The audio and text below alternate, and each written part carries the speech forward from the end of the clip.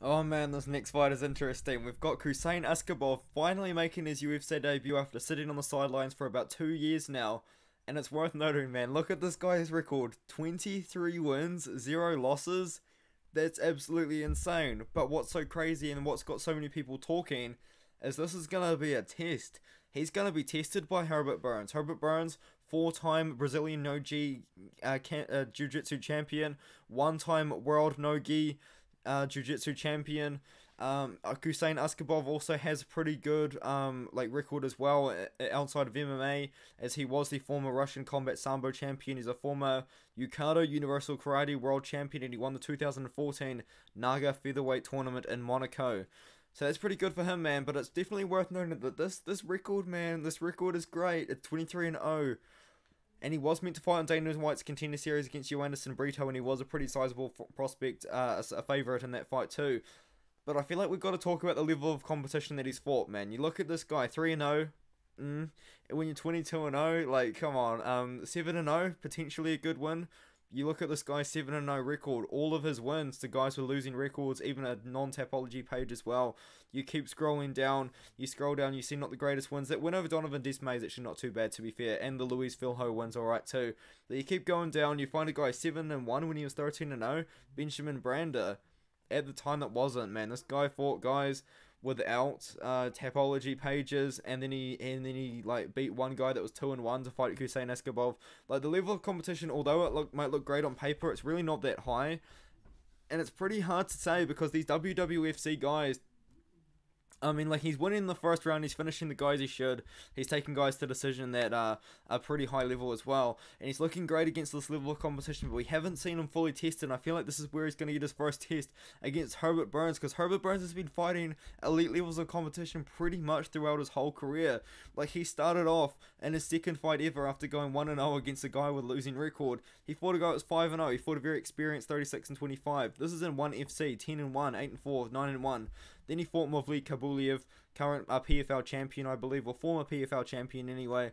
And then he lost to Magomed Idrisov.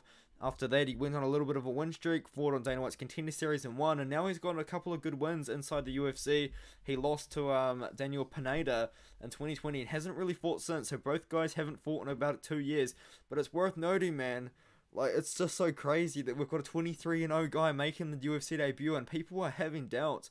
It's also worth noting he last fought at 135 pounds.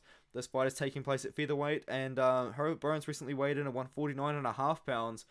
So I feel like Herbert Burns is going to be the bigger man in the octagon as well. Like this is such a crazy fight because I don't know who's going to win. I feel like there's going to be a lot of research required, a lot of tape study on Khusein Askhabov. Although there won't be too much tape because most of his wins, most recently anyway, have been taking place and finishing inside the first round. He does have an anaconda choke win over the guy that was 7 0, but that was a very padded 7 0.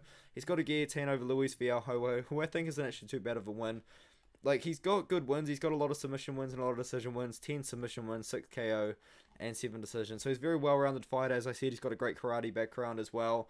He's also got a great ground game as well to go with it. Herbert Burns a very good jiu-jitsu game, and he's got eight submission wins, one TKO, and two decisions.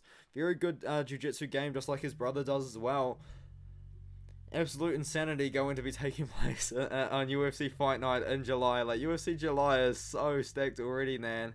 I've already got a couple of great fights added to this card.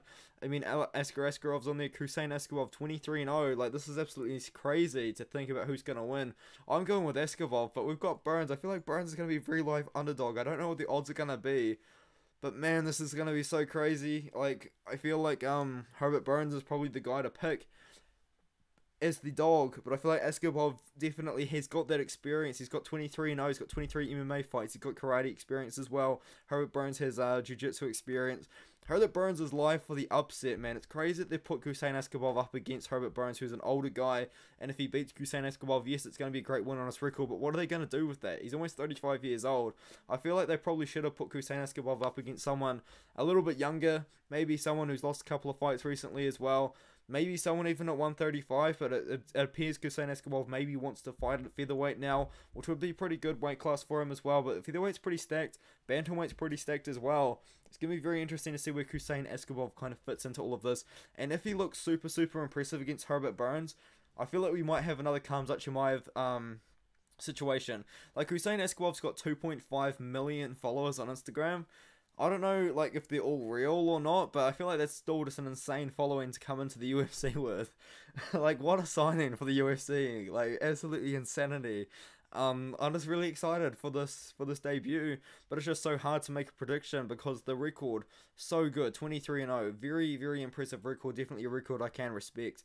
But the level of competition kind of frightens me away from going, Khusein Askhabov's going to win 110%, 10 out of 10 times. Because Herbert Burns is the live dog for the submission, man. If Khusein Askhabov shoots for a takedown and is on top, he can't get too comfortable because Herbert Burns is going to be live from the bottom for uh, for a sub. man. like, this is such a crazy fight. I just can't. I can't really get my head around it. Really, this is just absolutely so. This is absolutely such an insane, uh, insane, insane bout. You know what I mean? Um, I'm going with Khusein Askhabov to win his UFC debut. At 23 and 0, it's pretty hard to deny that record.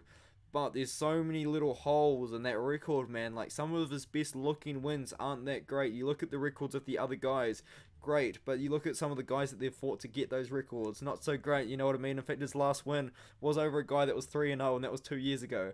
How are we supposed to know what Khusein Askhabov is going to look like? Absolutely crazy fight, man. I really can't wait to see it. But um, yeah, I'm going with Khusein Askhabov to win.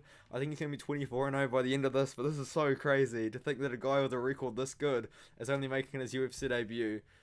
Man, it's crazy to think about.